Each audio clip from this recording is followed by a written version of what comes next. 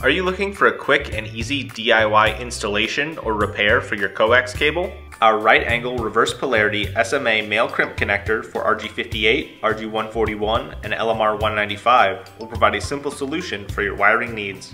Because this is a two-piece connector, the pin is pre-installed to the connector housing. The only other piece to the connector is the crimp ferrule.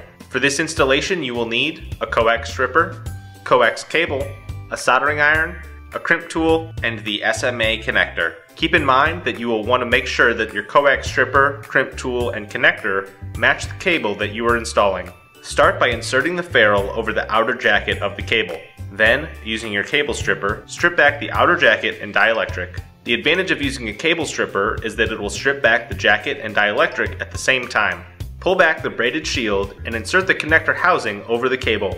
Make sure that the center conductor reaches the well inside the base of the connector. Then, solder the conductor to the solder well. Slide the ferrule up to the base of the connector, folding the shield with it. Crimp the ferrule under the outer jacket to complete termination.